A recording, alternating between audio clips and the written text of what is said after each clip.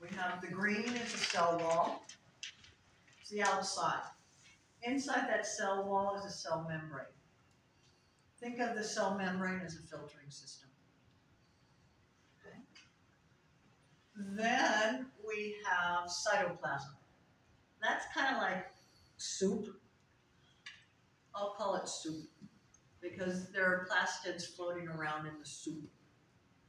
It's liquid, it's enzymes. Enzyme soup. Then we have the nucleus, kind of the brains of the operation.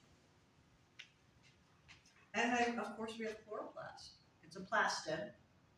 It's one that produces the food. And then we have a vacuole. Vacuole, think of it as a big old water balloon. Helps keep the plant upright. But we're gonna get into a little more. But notice there's all this other. I don't want you to need all the other. I just need those six. So don't worry about the other.